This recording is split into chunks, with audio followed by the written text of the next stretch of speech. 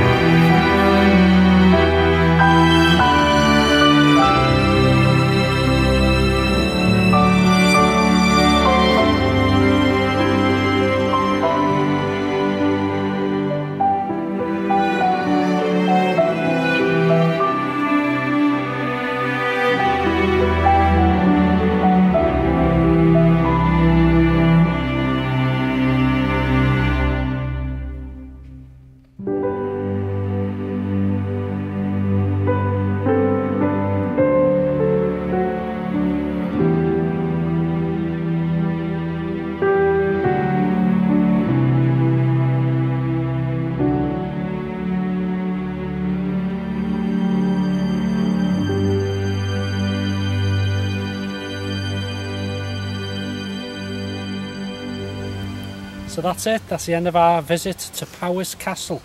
Very nice. And uh, it was a treat from Mrs H. So thank you for the food and for the filming. Oh, it's been a beautiful sunny day. Really enjoyed it. There's a lot to see here.